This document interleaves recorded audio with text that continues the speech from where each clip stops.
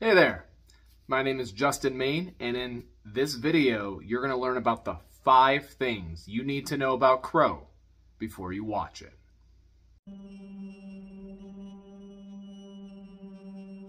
Grief is pain. And pain is power. So ever since we've announced the release of Crow, and ever since we've put out trailers online, we've received quite a bit of feedback. Positive, negative. We've received it all. We've heard it all. And in this video, I want to share with you the five things that you are going to need to know about the film before you watch it. Let's start with number one. Number one, Crow is not a remake or a reboot. Crow isn't a remake or a reboot. Hell, it's not even a reimagining. It's a unique story set within the mythology of the franchise that James O'Barr created. At no point did we ever intend to redo or recreate anything of what you've seen before.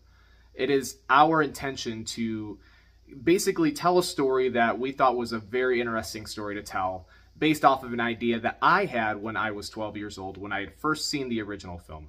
And then as I explored the comics and the other films, it just kind of blossomed within me to be able to tell this story that I've been wanting to tell. Number two, it's a fan film. Crow is not a major Hollywood studio production. It doesn't have millions of dollars behind its budget.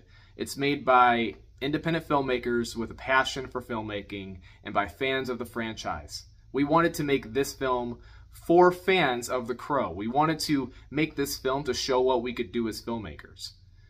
I wish we had millions of dollars behind the budget. It would have helped with my bank account quite a bit. But overall, this film was made with passion and it was made with enthusiasm and it was made with hard work.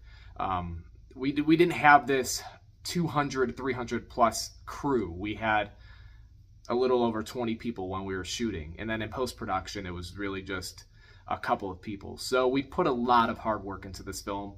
And regardless of the reception that we get from it, we are very happy with what we made and we can't wait for you guys to see it. Number three, Eric Draven is not in this film. So this one kind of piggybacks off of one and two. Again, we're not remaking this film. So if we're not remaking it, we're not using Eric Draven. Eric Draven isn't even in this story. We're using a wholly original story, so that means we have to create a new character. Uh, the last thing we wanted to do was try to outdo Brandon Lee's performance. So instead, we created a new character with a different type of background, different type of mannerisms, and a different personality overall. Um, we felt that it was more true to the story, and we felt like it was going to take things in the direction that we wanted to take the film in. Uh, so at no point are you going to see little Eric Draven quips or anything like that. It's mostly a wholly original story centered around a wholly original character. Number four, Crow isn't just a horror or action movie. Just like the original, Crow isn't just one genre of film. It's not just action, it's not just horror, it's it's romance, it's sci-fi, it's fantasy, it's mystery, it's a noir.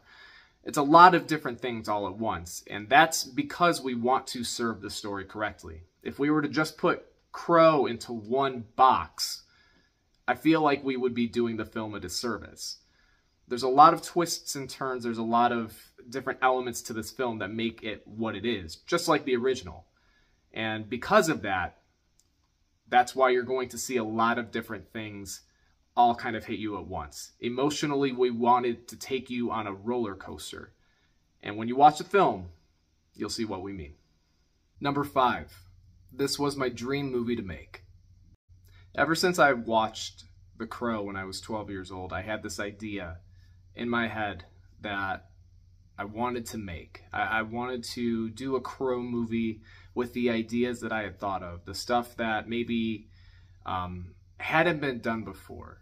And I found myself a couple of years ago, after several years in the acting business, you know, working in front of and behind the camera, I found myself at a place where I asked myself, could I make this film? Could I establish this idea? Could I put it out there and, and really do it justice? And after talking with a few colleagues and friends, um, one of which was Dylan Sides, who, if you know him, he worked on Revenge of the Mask, I started realizing that this dream of mine could become a reality. And so we set forth. We started writing the script, went into pre production, and that's all she wrote. We made Crow, and it was a, it was a dream come true. So those are the five things you need to know about Crow before it releases on July 18th. If you want to watch Crow, you can check it out on our YouTube channel for free on Monday, July 18th. Or if you live in the Detroit area, you can attend our world theatrical premiere at the Bel Air Luxury Cinema on Thursday, July 14th. Tickets are on sale now and proceeds are going to a good cause. We unfortunately lost a crew member of ours Jim T-shirt last month, and the proceeds will be going to his wife to help pay for his final expenses. So if you live in Detroit or if you live near Detroit, we'd love to have you there. We're going to be raffling off prizes like posters, wardrobe props, and, and more. Thank you guys for watching. Not too much longer. I'll see you soon.